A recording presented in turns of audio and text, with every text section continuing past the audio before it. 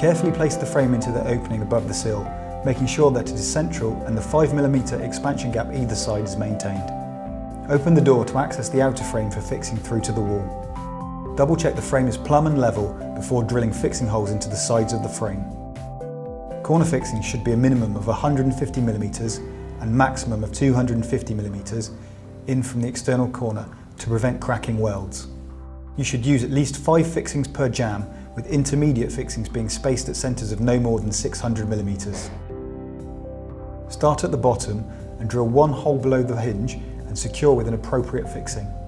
Appropriate sized installation packers should be used adjacent to the fixing positions to prevent the outer frame distorting during installation. The fixing should be tightened so the frame is held secure against the packers.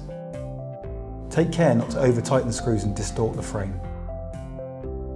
Drill a hole at the top of the frame above the hinge and again secure in place. Again, check the frame is level. Now drill and fix the appropriate fixings along the hinge side. Now do the same on the lock side using the packers to stop any movement. Once these are all done, check the door's operation again and providing that the door is fitted level and plumb, any minor adjustments can be made with toe and heeling.